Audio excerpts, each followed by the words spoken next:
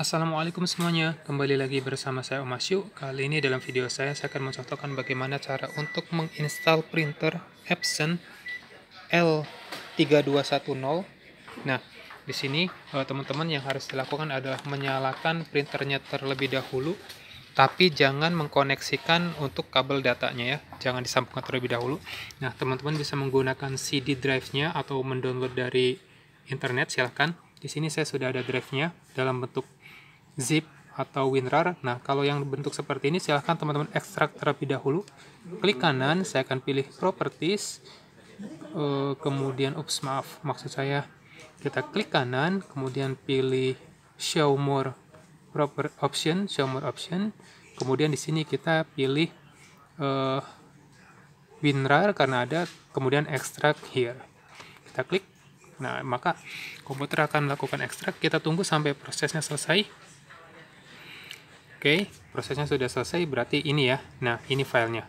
Kalau sudah selesai, teman-teman buka dan kita akan klik pada bagian install Navi. Di sini ada uh, ada banyak pilihan yang kita klik adalah install Navi. Kita lakukan double klik.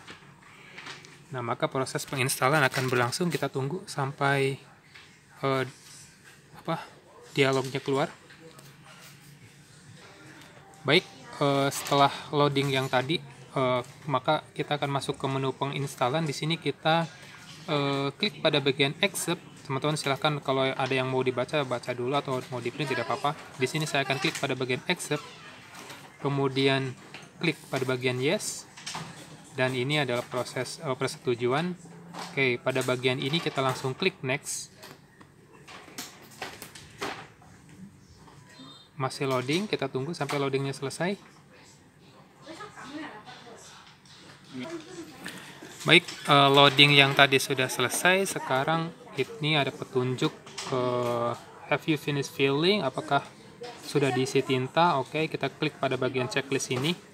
Kita sudah memberi tintanya ya. Berarti klik next. Bagi teman-teman yang belum diisi, silahkan diisi terlebih dahulu tintanya. Baru nanti kita kasih checklist dan klik next. Nah, di sini masih ada uh, pengkopian data. Ini adalah proses penginstalannya kita tunggu sampai proses loadingnya selesai. Baik uh, proses ekstrak sudah selesai. Nah tadi kan saya uh, meminta teman-teman untuk jangan dulu mencolokkan USB nya nah baru sekarang kita koneksikan USB nya oke. Jadi kalau di proses ini baru kita koneksikan. Oke sudah masuk.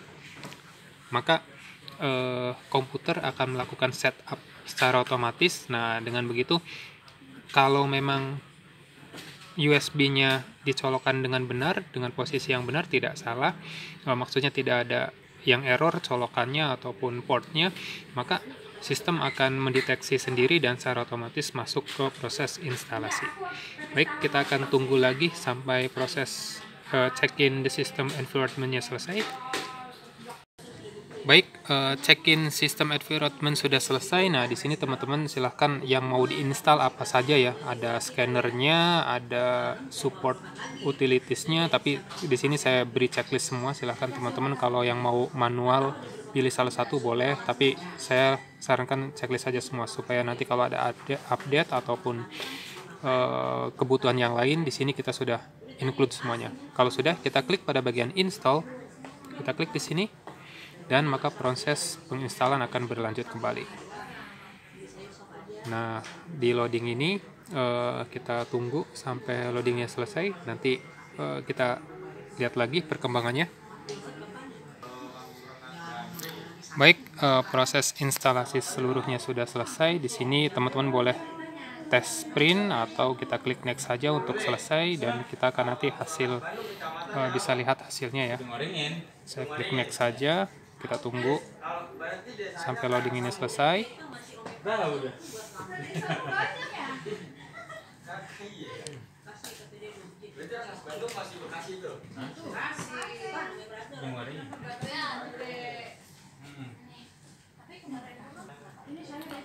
Baik, uh, sudah selesai. Di sini teman-teman silahkan yang mau register boleh. Di sini kita skip saja supaya prosesnya cepat.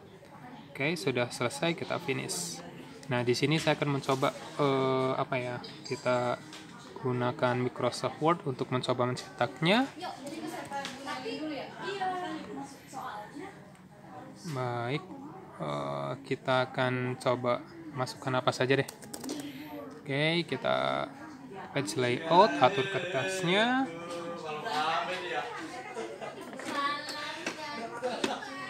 Saya gunakan kertas A4. Kemudian klik file, klik print. Oke, properties, kertasnya A4. Oke, semua oke. Kemudian kita klik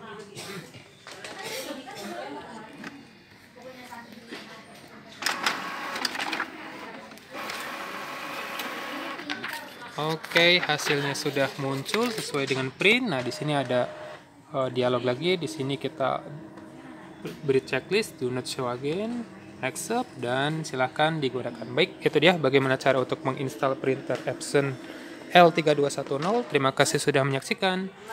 Assalamualaikum.